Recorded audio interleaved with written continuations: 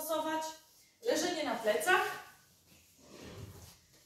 Nogi przyciągamy do klatki, dociskamy rękami i również, również w tej pozycji leżymy przez kilka minut, starając się rozluźnić.